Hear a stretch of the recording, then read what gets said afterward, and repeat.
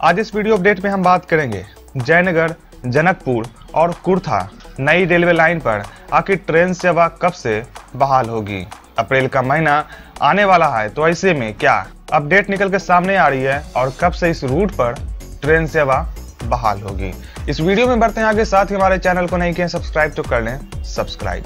भारत और नेपाल के बीच जल्द ही पटरी पर ट्रेन दौड़ने लगेगी। समस्तीपुर रेल मंडल के जयनगर से ट्रेन लाइन नेपाल से जोड़ी जा चुकी है। लगभग 619 करोड़ रुपए की लागत से भारत और नेपाल के बीच रेल प्रोजेक्ट के तहत पहले चरण में काम पूरा कर लिया गया है। भारत के प्रधानमंत्री एवं नेपाल के प्रधानमंत्री द्वारा आगामी 2 अप्रैल को नई दिल्ली से वीडियो कॉन्फ्रेंसिंग के माध्यम से नए आमान परिवर्तन, जयनगर, जनकपुर, कुर्था रेलवे लाइन पर यात्री ट्रेन सेवा का परिचालन बहाल किए जाने की संभावना है।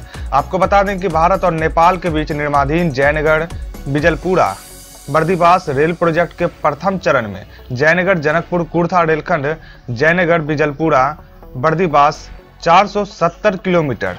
Rail project का एक भाग है। इसको लेकर पूर्व में समस्तीपुर मंडल के जयनगर और नेपाल के कुर्था के बीच ट्रैक पर ट्रेन की स्पीड ट्रायल हुआ था। दोनों स्टेशन के बीच करीब 34 किलोमीटर लंबे नए आमान परिवर्तन रेलखंड पर लोकोमोटिव इंजन द्वारा 110 किलोमीटर प्रति घंटा की रफ्तार से सफलतापूर्वक स्पीड ट्रायल किया गया और उम्मीद जताई जा रही कि इस रेलखंड पर 2 अप्रैल से सेवाएँ बहाल होगी। आपको बता दें कि 2014 से लेकर जयनगर जनकपुर के बीच परिचालन बंद है तो ऐसे में अब संभावना जताई जा रही कि अप्रैल के महीने से इसकी शुरुआत होने वाली यह वीडियो कैसा लगा कमेंट करके बताएँ। साथ ही हमारे चैनल को नहीं किए सब्सक्राइब तो कर ले सब्सक्राइब।